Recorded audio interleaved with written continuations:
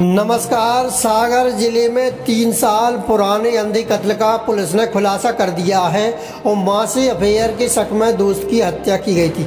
दरअसल, सागर ज़िले के राहतगढ़ थाना पुलिस ने तीन साल पुराने अंधे कत्ल का खुलासा करते हुए हत्या के आरोपी को गिरफ़्तार करने में कामयाबी हासिल की है। आरोपी बेहद सातिर है। उसने हत्या की साजिश इतनी मज़बूत रची थी कि तीन सालों तक पुलिस चक्कर गन्नी होती रही। संदेह के आधार पर जब पुलिस ने आरोपी के साथ हत्या की वारदात का रिक्रिएशन किया तो आरोपी द्वारा पुलिस को सुनाई गई झूठी कहानी की परतें खुलने लगी। एक के बाद एक अहम सुराग पुलिस के हत्या लगे। सुराग एक के बाद एक अहम सुराग पुलिस के हाथ लगे और सुरागों के आधार पर जब पुलिस ने संदेही से, सख्ती से पूछताछ की तो वह टूट गया और हत्या की असल कहानी उगल थी। उसने हत्या का जुर्म कबूलते हुए बताया कि माँ के साथ उसके दोस्त के अवैध संबंध थे। इसलिए उसकी हत्या की थी। पुलिस ने 7 सितंबर 2019 को राहतगढ़ थाना क्षेत्र के ग्राम मुगरियाऊ पुलिया के नीचे अज्ञात व्यक्ति का शव मिला था। सूचना पर पुलिस ने मौके पर पहुंचकर शव का पंचनामा बनाया था। पीएम रिपोर्ट में मृतक की हत्या होना सामने आया था। पुलिस ने हत्या का प्रकरण दर्ज कर जाँच में लिया था। जाँच के दौरान दो दिन बाद मृतक की पहचान मुन्नालाल और मुन्नी पुत्र भदई अहरवार, उम्र पचास साल, निवासी सेवन के रूप में हुई थी।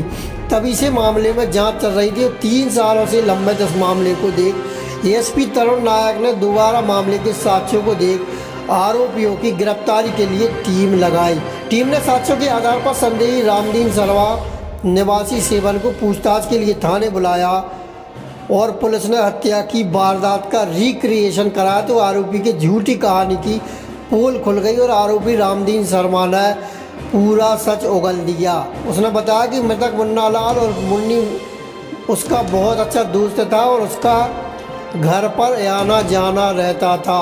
मृतक मुन्नीलाल ने माँ के साथ अवैध संबंध बनाते जिसको लेकर गाँव और समाज में चर्चा होने लगी थी और इसी को लेकर हत्या की घटना को अंजाम दिया था। वर्ष 2019 का थाना राहतगढ़ का एक हत्या का मामला है, जिसमें मृतक मुन्नी अहिरवार की लाश मिली थी, जिस पर अपराध पंजीबद्ध कर धारा तीन सौ दो दो से का अपराध पंजीबद्ध किया गया था, जिसमें इसका एक दोस्त था संदेही रामदीन शर्मा, जिस पर शुरू से ही संदेह था और इस संबंध में इसके विरुद्ध जाँच भी की जा रही थी।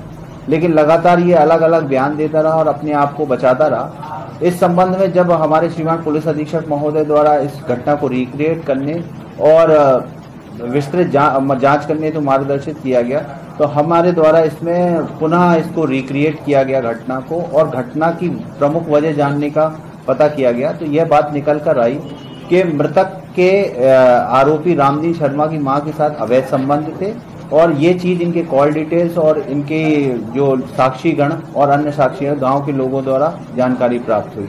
जिस पर से आरोपी से पुनः पूछताछ की गई जिसमें उसने द्वारा अपना हत्या का जुर्म स्वीकार किया जिस पर आरोपी को गिरफ़्तार कर माननीय न्यायालय पेश किया गया। इस पर धारा तीन सौ दो दो सौ एक व एस सी धारा के अंतर्गत इसको गिरफ़्तार कर लिया